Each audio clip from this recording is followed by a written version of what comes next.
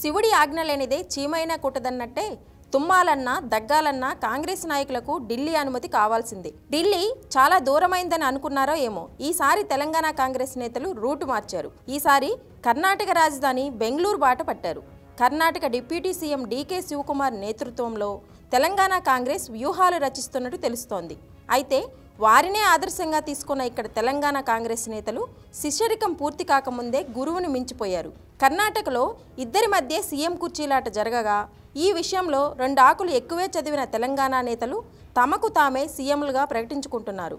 కోమటిరెడ్డి జానారెడ్డి ఉత్తమ్ కుమార్ రెడ్డి రేవంత్ రెడ్డి బట్టి విక్రమార్క సీతక్క జగ్గారెడ్డి మొన్నటికి మొన్న పార్టీ తీర్థం పుచ్చుకున్న పొంగులేటి వరకు ప్రతి ఒక్కరూ కాబోయే సీఎంలేనట. మరోవైపు తనకెదురైన ట్రబుల్ సిద్ధరామయ్యనే ఎదుర్కోలేక చతికిలబడ్డ నామకే వాస్తే ట్రబుల్ షూటర్ డీకే తెలంగాణ కుర్చీలాటను తేల్చాలని నెటిజన్లు సెటైర్లు వేస్తున్నారు.